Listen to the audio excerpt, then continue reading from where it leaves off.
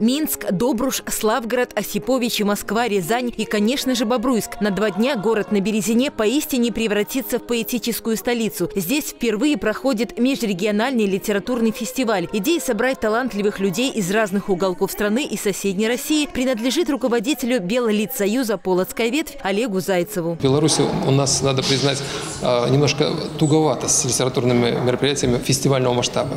Э, по сути дела, мы закрываем э, э, вторым фестивалем, мы закрываем в какой-то мере эту брешь образовавшуюся. И мне кажется, что Бобруйская земля богата на таланты, и она вполне, этот фестиваль вполне может со временем перерасти из регионального статуса, перерасти в международный.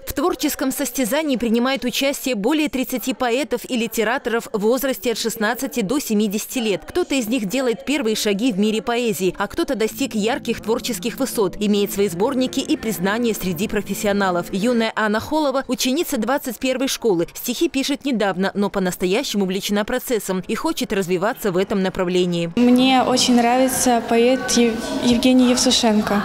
И вот э, из-за этого поэта я начала любить поэзию. Я очень волнуюсь, но я думаю, что все пройдет хорошо, и мне очень, я очень рада, что меня пригласили на этот фестиваль. Свое творчество на суд жюри участники представят в трех номинациях – патриотическая, любовная лирика и конкурс короткого рассказа. Профессионалы будут оценивать художественный уровень произведений, владение приемами стихосложения, исполнение и артистизм. Как члены жюри вот, э, анализируем литературу, э, выдвигаем людей э, на какие-то престижные места, а это их подбадривает, это дальше дает силы.